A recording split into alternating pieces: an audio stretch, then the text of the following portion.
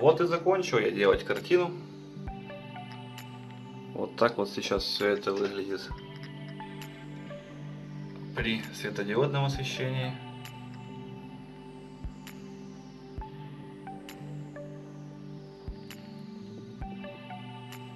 Ну и сейчас посмотрим при дневном.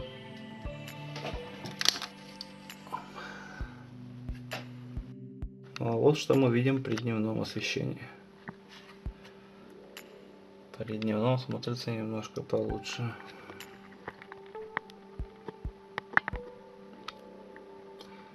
Вот такая вот картина получилась. Кстати, когда гравировал, фотография была не слишком четкая. Я только потом увидел, когда почитал биографию этой картины, когда ее Леонардо да Винчи писал. Оказывается, у младенца еще в левой руке была птичка, щегол. Но она фотографии не было заметно.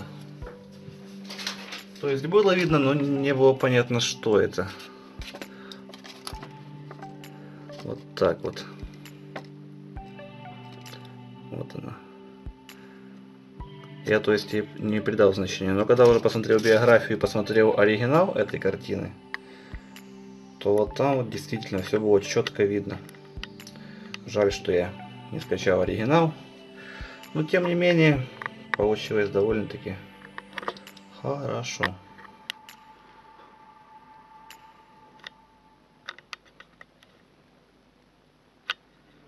Скоро будем переходить на портреты.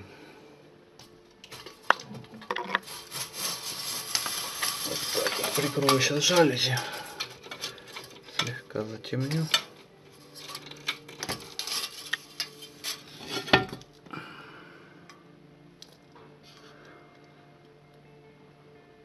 Ну а на этом все, ребята.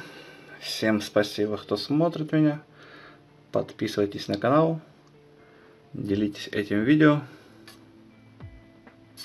Всем пока. Удачи!